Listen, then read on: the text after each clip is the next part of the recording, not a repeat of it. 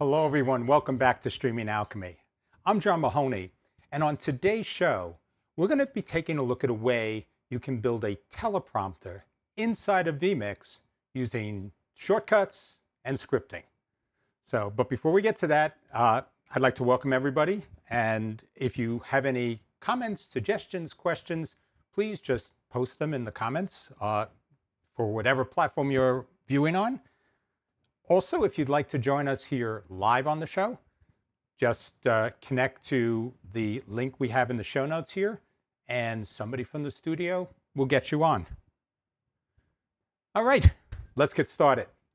So, one of the things that I've been really interested in is figuring out different ways to add teleprompting capabilities into the vMix platform. And while there's no direct way, one of the key capabilities in vMix is that it has GT Title Designer and a, the ability to create scrolling tickers.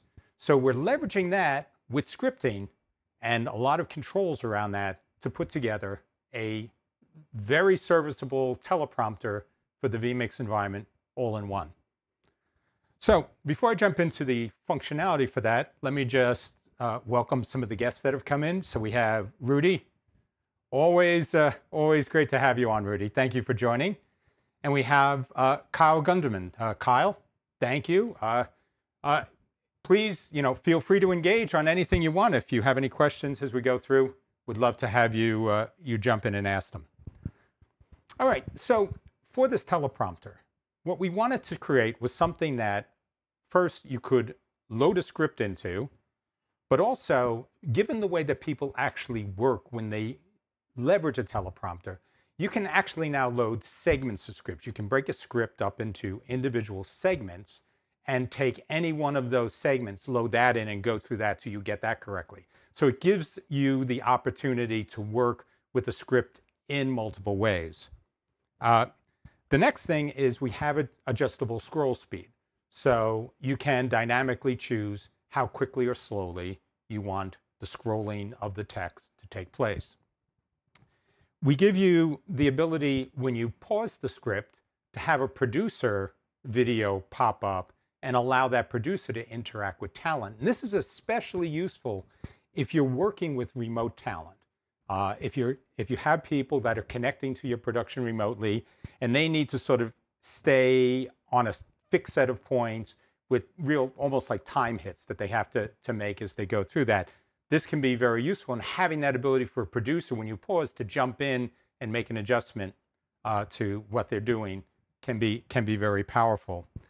And the other thing we added was uh, a timer. So you can actually set a timer and then start and stop it to help keep whoever is doing the presentation sort of on track and on pace given you know a lot of things that that have more rigid timeframes that they have to be done in.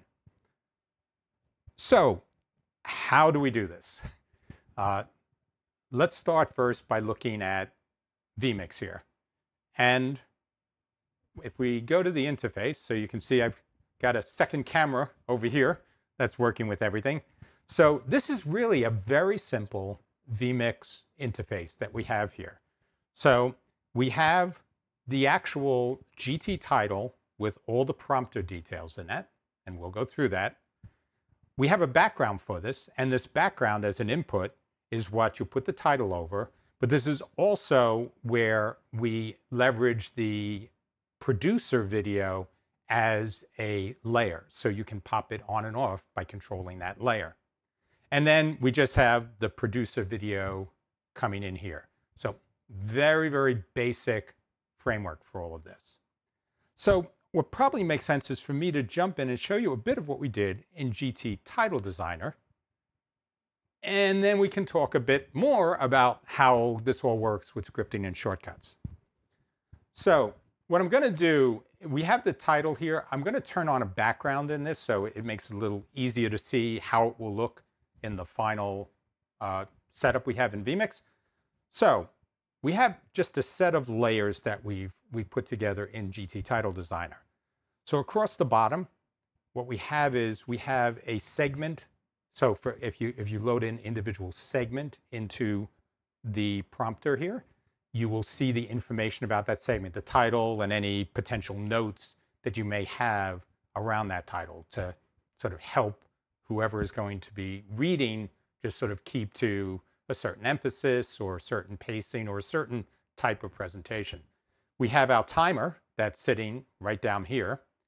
We have an indicator of the scroll speed so that if somebody is looking at it uh, and they want to see how quickly this is going and say bump it up or bump it down and give them a, you know, whoever is controlling this, a rough estimate of how to adjust the speed, that gives them a little more information.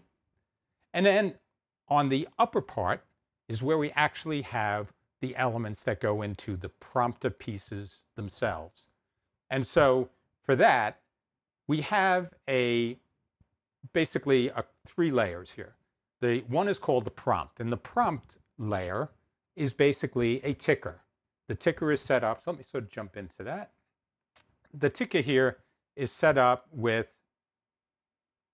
uh, we're replacing the text, the scroll direction is at the top, and it sort of defaults to a 1.5 uh, speed. That's just the speed indicators in vMix. They, they go from painfully slow to ridiculously fast and everywhere in between. So I think it's a thousand range of points. So this gives you a sense for how quickly this is moving by default, but we have controls for all that. Then what we have in addition are two overlays, a top sort of blur and a bottom blur. That's this piece up here that you see, if I sort of click up here, that grays out the text a little. So it keeps your focus right here on the center space, which is what you'll use to look at, you know, when you're reading as, as, as, a, as an actual presenter. So this is the structure of here. There's not a lot in here, but we do have everything set up and named so it's very easy for us to control this through shortcuts and scripting. So that's what we have put together here. So very simple components. Power and magic is all in how you control them through the automation piece.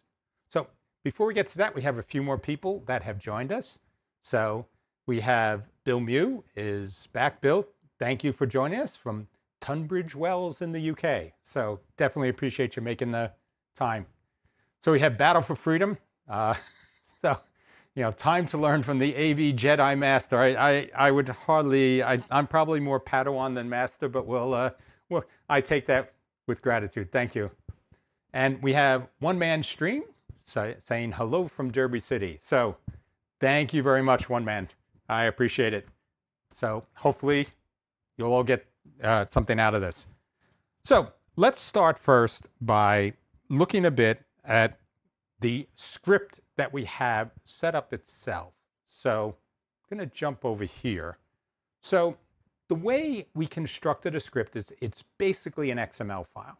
And this is how we package our scripting for what we want to do. And it's, it's pretty straightforward the way this is set up. We have the basically the big script block here, and we have different segments, and we just number them if we wanted to use that as a reference. But so we go and pull these seg, we set these segments up, we give them a, a name, which is sort of the segment title. Uh, we give the notes, which is what you would give to whoever you wanted to have read it as sort of their prompting for how they should read it. And then let me see if I, I can do the wrap here so you'll, you'll see this a little bit better, word wrap. So, okay, so, and then under that we have the text of that segment. And this gives us the ability now to break up a script into multiple segments that we could jump to and get down pat for each segment one at a time. But we also have the ability to just read all the segments that are in there and piece them all together as one long script. So if somebody wants to go through that and be prompted on the whole thing at one time, that's possible. But this is the XML we're working with. And because this is fairly straightforward, it's very easy to modify. So if you wanted to go in and just change anything in the script or just use this as a template and put in new scripts the next week or the next production, really just cut and paste for, for getting this all set up. So that's the, the basic part for what we're doing with the script itself that's going to be we're going to use to do the prompting. The other piece we have in this is that uh, we have, in everything we've done, we have the ability now to set up a framework inside of a script here. So let me go over to the script. And what we'll do then is we will take that script, that, that script itself that we did. Sorry, there's two scripts here, the, the vMix Visual Basic script and the script we're using for the prompter. So we're going to read the prompter script uh, based on how our VB script uh, tells us to load it in and work with it. So let me jump through this and then we'll sort of go into some of the controls that we put around this. So when it comes to reading the script, what we have here is the usual suspects. We, we block out all the different things we need for the elements of the script that we're going to read in and get all those defined. Then we turn around and say, we're actually going to open up this file. That's the file stream open. So we have all that to, to load in the script. And, you know, we have notes if something doesn't load correctly, we can put an error message out. But once we have the script in, then what we're basically doing here is we're loading in the segments and we're creating a node list. And the node list for each entry in the node list has each segment that's in the script. And that's what we're doing right here when we read all that. We then get the count of segments so we know how many we need to loop through. And we go from there to decide how we're actually loading the script in. So the first thing we're going to want to know is, are we loading an individual segment or is it the full script? And the way we handle that here is using vMix dynamic values. So we set the dynamic value, value one in this case, to be either all, because I want the entire script to be read, or I have a number for which one of the segments that I want to load into the script. And so we pull that active segment out, and then based on what this is, we take two courses of action. If the active segment is all, then what we do is we loop through all of the segments that are in there, we pull the text out, and we add them all together, and that's how we build what we send into the script, uh, the, the prompter script. And the other thing we do is if there are multiple segments, we will take and we'll read, we'll say there are multiple segments here, and we'll put the title of each segment in the notes because you're just doing the whole script all together. So it just gives you a sense of what am I actually looking at uh, segment by segment, so you understand that. So we're just pulling that information out. The if though, we have all that done, if it's just for one segment, we do something slightly different. So as opposed to looping through everything, we just go and we pick the one active segment, uh, and that's our segment index. And then we select the name of the segment, the notes associated with segment, and the text associated with the segment. And that pulls all the information that we need for that prompter session. From there, we are just writing that information into the GT title designer. So this is actually getting everything set up for loading the script. So you can see we are loading the prompter text, we're loading the segment title and the segment notes. And those were all elements that we had in the GT title designer file. So you, you just go and you see all those layers. And as usual, you, you identify the name of the element inside GT title designer as dot text or dot source. Uh, so that gives you, you know, the ability to, to change any of those dynamically. So what happens when we do this? So let me actually show you some of what I want to do here on a with some of the shortcuts, and we'll go into specifically what we do for those shortcuts. So if we go to the Stream Deck over here, uh, what I have is I have the ability now, so to give you a sense of everything, I can say I want to load all my segments or any one of them individually. I can say to load the script, and if I wanted to have multiple scripts, I could do that, so I could just pop between different scripts. I can control the playback speed, which is the second row or the third row of buttons we have here. And it's play and pause and set the speeds. And then I also have controls on the bottom for a timer. So let me see if we can switch to the uh, output of vMix or the screen here, and then we'll, what I can do is show you exactly how this would look. So here we have, right now I haven't loaded any script or anything. So what I'm going to do is I'm going to say, I want to load segment one of the script. So I'm right now I'm pressing segment one and I'm going load script. Now the script is loaded, but what I need to do is I need to queue it up. So that's going to move the script up so it starts to scroll up where I need it.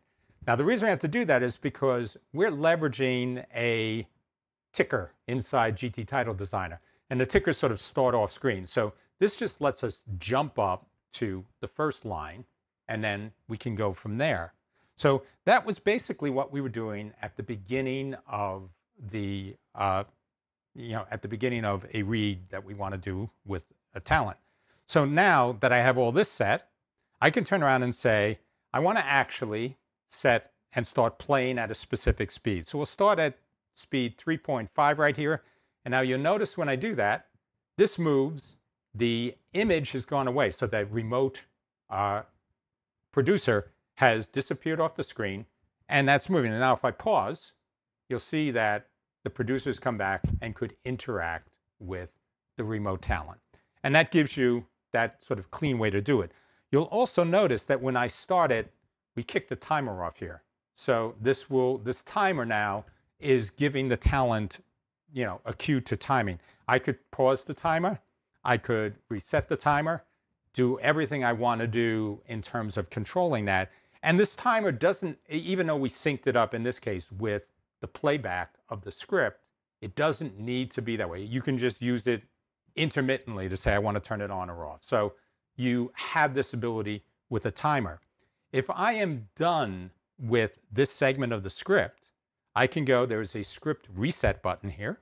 So if I just press that, that will clear out the script.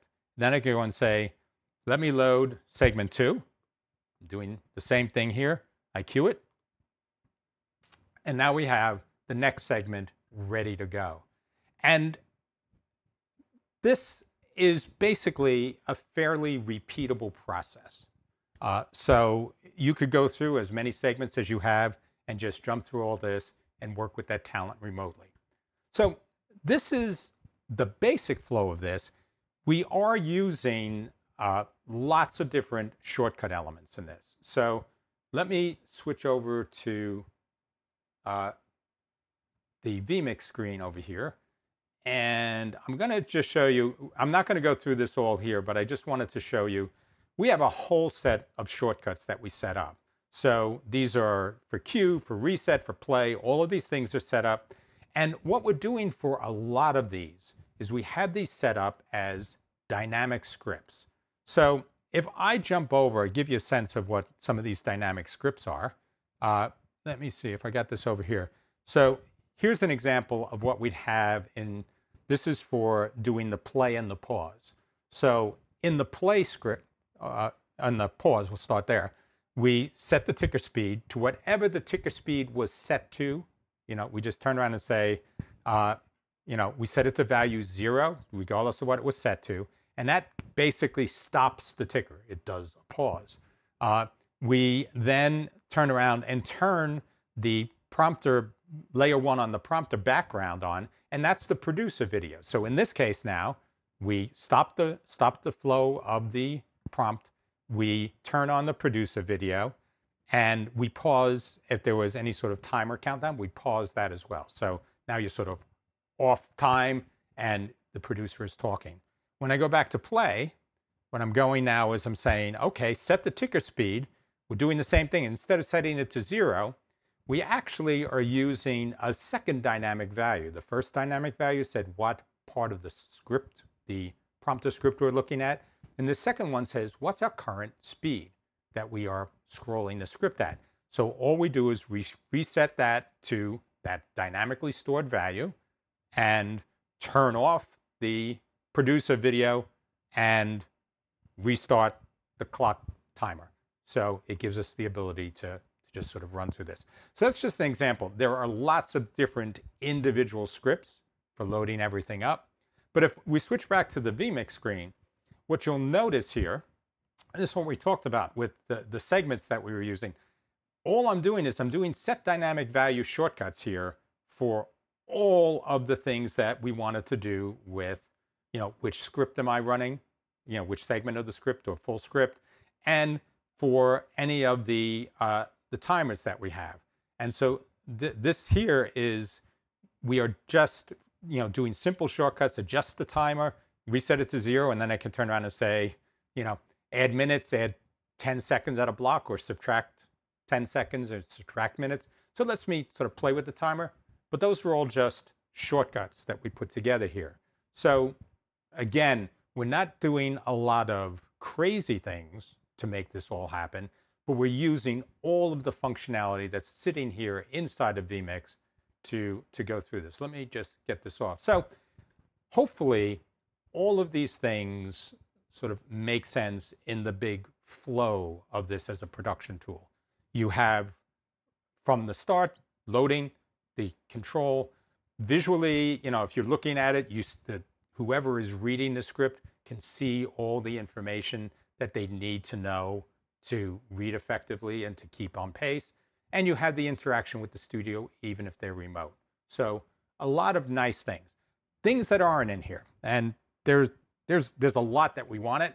Uh, I have no way to know when the text on the screen uh, is looping. So there is no trigger or signal that says the ticker has looped back and you're starting from the beginning. So this ticker will just play through. And when it gets to the end, it starts from the beginning and keeps going. So that would have been really helpful because it would have made, it would have given us options for different things we could do at the end of a script playing. Uh, but we don't have that. We also you know, you don't have any sense when you when you're doing this of, you know, real what actually is being displayed on the screen at any given time. So I have no way to sort of highlight text or do anything different or change it. You know, we looked at a couple of different ways to try to do that with just individual lines, but it, it just didn't look right or feel right. But, you know, so that's something else that's missing. And I realized we're using one piece of functionality. It wasn't designed for this to try to shoehorn in a prompter. But we think, given the limitations around the scrolling tickers, that this is still a very serviceable way to work with remote talent. The other thing though, and this is, you know, this is funny because we we thought we could do this inside of GT Title Designer, but there's no way to invert the screen. So I can't flip it around. So if you're using this with a mirrored prompter for something I'd want to do in studio, you can't do that. So you would have to have a monitor that could do that uh, screen flip itself. Uh, you know, not a, a major limitation, uh, but still a limitation nonetheless for people that don't have that type of setup. Uh, so hopefully this is something that you can integrate into your productions. And, you know, we'll post up uh, you know, the script and maybe the vMix session as well. So you, you get, you know, some of this information and you can download it and play with it yourself. So before we wrap the main show, let's take a look. We have other people joining us. So we have, uh, and I, am sorry, I know I'm not going to say your name correctly, so I'm apologizing in advance. Uh, Eknubiat uh, from Indonesia. So Iknubiat, uh, hopefully I'm at least close to your name. Thank you very much for joining us. So we have Philippe joining us from Portugal. Uh, so Philippe, thank you very much for joining. Uh, we have, uh, I guess it's Onatas uh, Alvaria, which from Brazil. So Onatas, thank you. Uh, and uh, it's it's great to be here live with us for the first time. So I'm I'm grateful that you were able to cut the time out. So Bill Mew is saying, could you have the segment blocks in a Google Sheets table so that an assistant can edit in real time? Excellent question. Quick answer is yes. Uh, you the way this the way I would probably do that is we would read in, you know, we would basically set up what we wanted and we pull that in from Google Sheets. But if you made a change to Google Sheets, that would probably something where you'd have to take and reload the script for that. But that's definitely something that I think we could, uh, you know, you could do without a lot of changes to the, the code we set up here. You know, we actually did some stuff with Google Sheets in the past. So, you know, you sort of pull these two shows together and you could probably get exactly what you needed. So, so JP, uh, no, JP, thank you for joining. So he said they were originally trying to do this uh, via Google Docs. He says, can you link this to a shortcut clicker to pause, play, etc.? The uh, quick answer is yes. I mean, I could do that on a button. So anything that can simulate a button press, you, you definitely would be able to do this for. So the quick answer is yes, we can. Uh, and you know, we have Samuel jumping in, saying hello. So Samuel, welcome. Thank you for joining. All right, so uh, since we have some some good questions here, let's wrap up the main show here, and uh, we will definitely be back next week.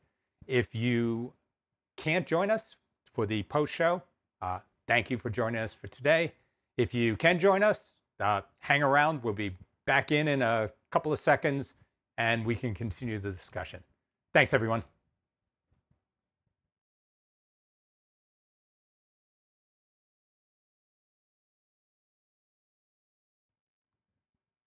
Hello, everyone. How are you? So, up. Oh, so we're, we're waiting for you to join us here live on air. So if you want to call in, just just call in now. But uh, so if uh, if I give you a little background, uh, when I started with this, uh, so actually I have Bill just said uh, he's asking, uh, are we making these scripts available? And yes. So Bill, we have we have a GitHub site. Uh, I will post it in the show notes. But uh, if you want to download any of the scripts from any of these shows, you'll be able to download them all from there. They're all organized by show. So you should be able to, to get to any of that. So when we first thought about doing a show on teleprompters, my original goal was that we would create a teleprompter that would let us inject commands. And so when it got to a certain point on the screen, so when somebody's reading a prompter, you could automatically direct vMix to do things. And that was our original plan for what we wanted to do for the show. But as I mentioned, some of the limitations, there was no way to really figure out where we were at any given point in time with what was loaded in the ticker. So that sort of limited our ability to do that. But we thought that would be really cool where you could be reading a script and then vMix could automatically go to a two box with you talking and a video playing and then go back or switch between. If you had multiple hosts, you could switch between camera angles for the host and sort of say, okay, host one is on now, host two is on that, and they could be reading and trigger all those things sort of as an automatic part of the scroll. Unfortunately, as I said, that wasn't something we could do. We actually tried to do this line at a time. So we said, okay, I'm going to just set up individual lines. I'm going to break the script up into sort of, I, I, forget what it was, like 25 character blocks and push them up one to the other, but it was sort of jerky and staggered. It would have let us do what we want, but it really wasn't a, uh, a great experience in use case. So we opted against that and instead just rounded out what we could do to try to make it as functional as possible.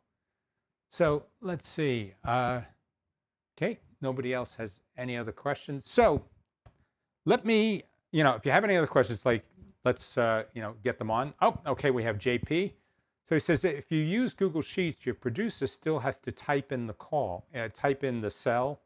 Uh, sadly, vMix still does not link to Google Docs as a data source. Yeah, that is that is correct. So you, you would still need to do that. But, I mean, the other possibility, and I'm improvising as I go, I believe you could write stuff inside of Google has its own scripting language.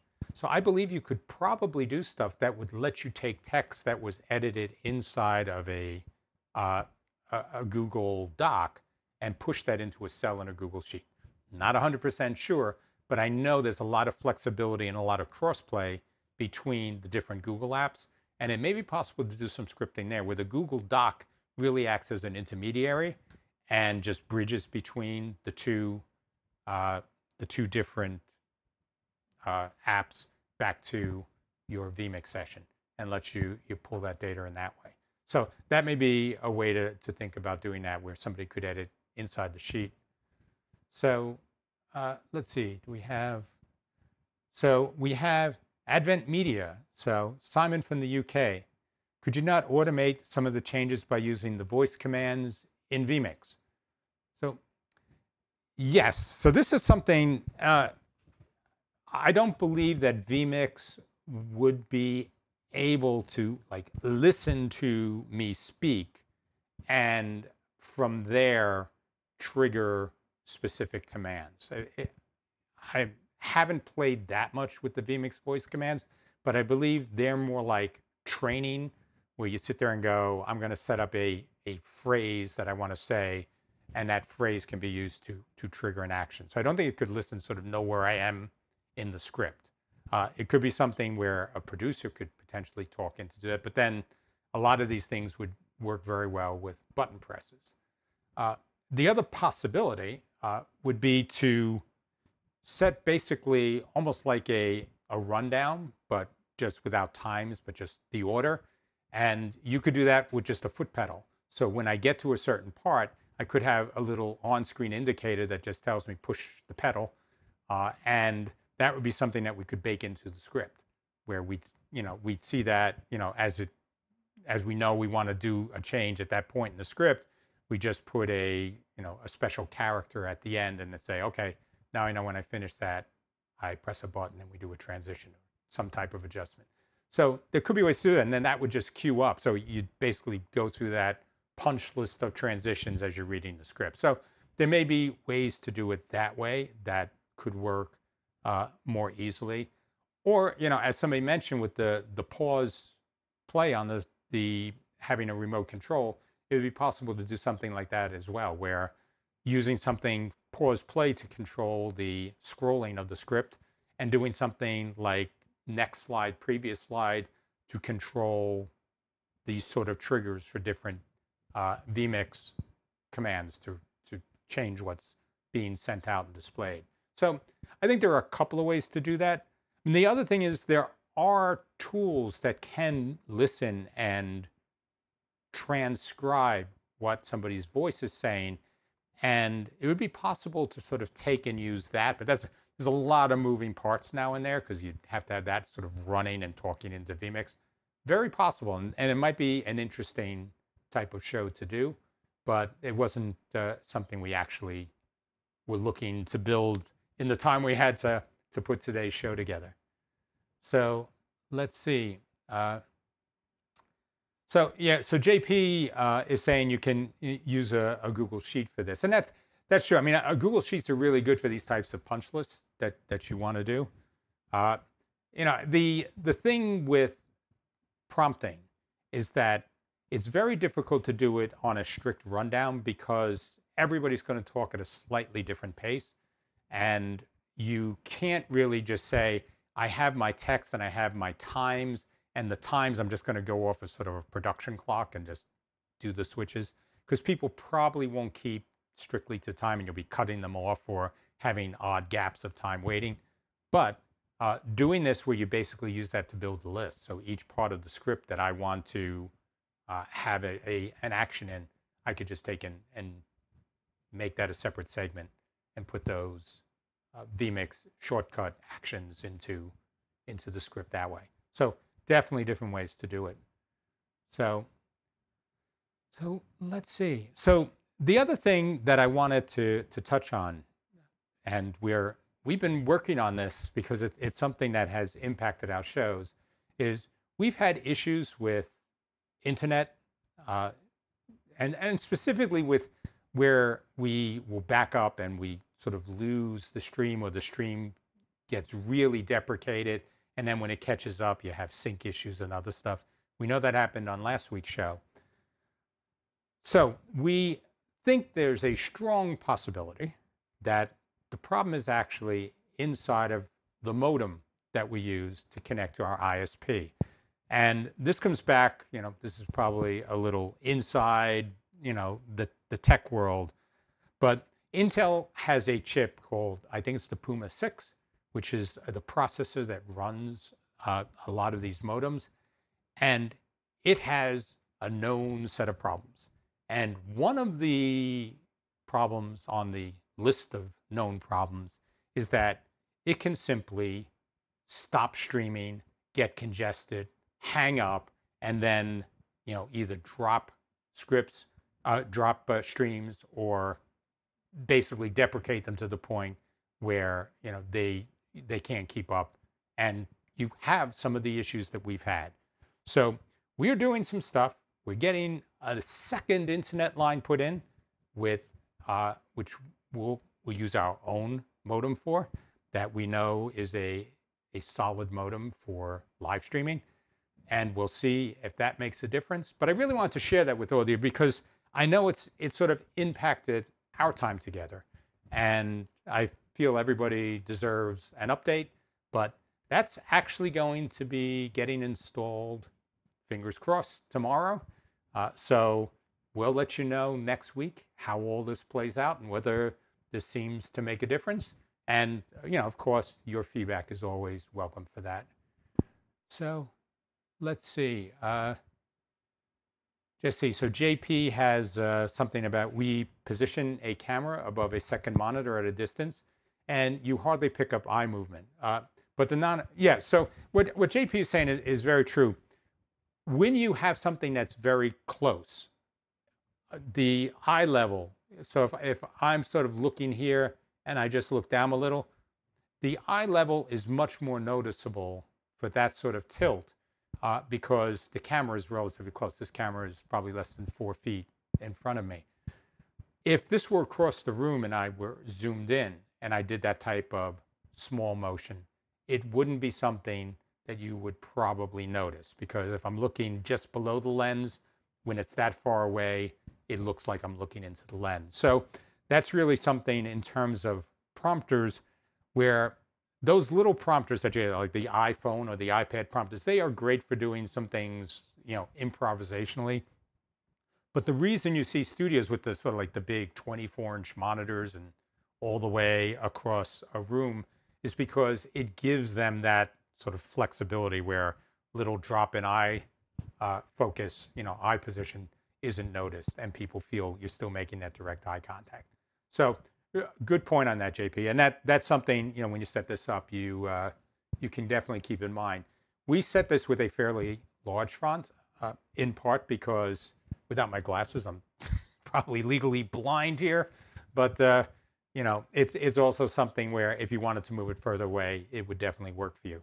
And you know, this is something even when you're working with remote talent, if they have decent cameras and a, and a, and a real setup at a remote location, having that type of thing where you can have a, a reasonably uh, close monitor or a further away camera that can sort of zoom in over it, you can still do something that they could read, but that you know you won't notice the eye line the same way. So different ways to to set this up, but uh, very good point there with with how this can be implemented in a practical way, you know, with the hardware around it.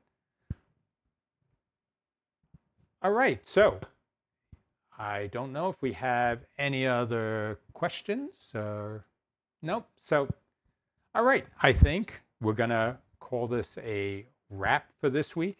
I appreciate all of you joining me for the show today and for basically, you know, spending time in, in the post-show hangout. That's something I also I really enjoy this part of the show and sort of the open conversation we can have here.